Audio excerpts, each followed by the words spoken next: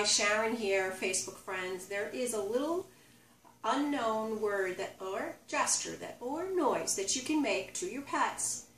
It isn't always about getting them to obey every single yes, no, come, sit.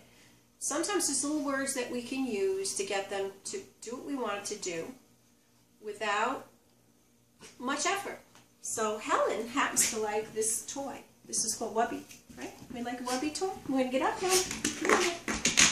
Okay, so Helen loves this Wubby so much that if I stuck Wubby over here, what would you do? What would you do? You would take it. Oh, okay. So let's say that was a snack, or let's say that was a steak, or let's say she wasn't supposed to get that.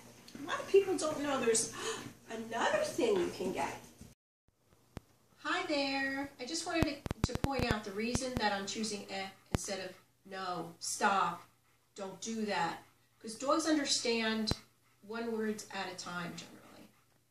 So it's easier to use a word they understand, like eh. Um, I don't want the dogs to get confused because if you're saying no all the time, no, don't do this, no, don't do that, no, no, no, they get really confused. So the best thing to do is use the word eh, and it's more like a, a sound to them.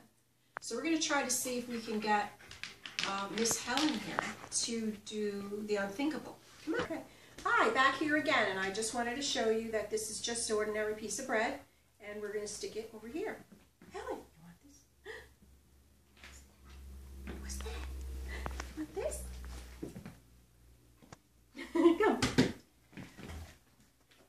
What am I going to do? Ah! And that's the power of.